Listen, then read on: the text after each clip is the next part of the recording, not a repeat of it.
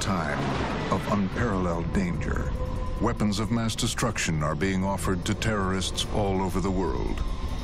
Global chaos is about to consume every country on Earth. And there is only one hope for humanity.